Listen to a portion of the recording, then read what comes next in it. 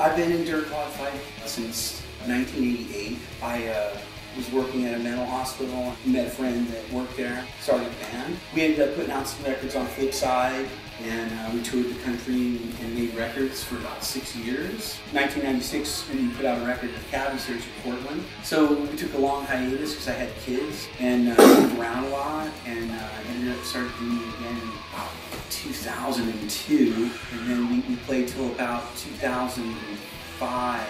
About two years ago, we started playing again. We wrote a new record. It's called Many Seekers. It's a concept album. It's, a, it's an allegory about that, the actual story of, of the piece is about enlightenment, loss, and love, fear, or human experience. Oh, always y'all. Fortunately, we get to play with them. There's, you know, there's always NoMeansNo. We'd love to play with the Melvins again. We love the Melvins. Does that mean living or dead? Yes. Ooh, Captain Beefheart. Oh yeah. He was, that was mine. The way he was doing it, have been sweet.